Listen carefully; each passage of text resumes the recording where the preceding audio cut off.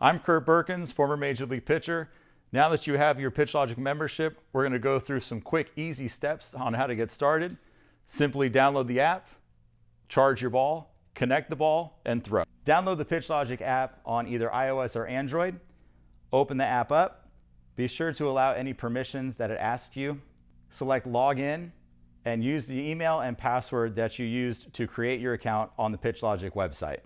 To charge the ball, simply plug in the included wireless charging pad. Be sure to align the two charging symbols. The solid blue light means the ball is charging, and a full charge will last roughly eight hours of continuous use. Now to connect the ball, simply touch the ball to the device. The red X will turn yellow.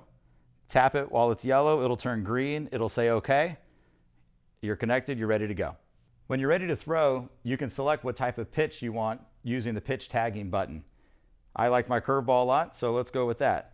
The system will automatically tag each pitch with that type until you decide to change it. And you can always come back afterwards using our pitch editing button and change that pitch type. Now you're ready to throw. Make sure the ball comes to a complete set for about a half a second. Don't balk. Go ahead and throw the pitch. All the data shows up instantaneously. You can throw to a catcher, you can throw to a net, whatever you prefer.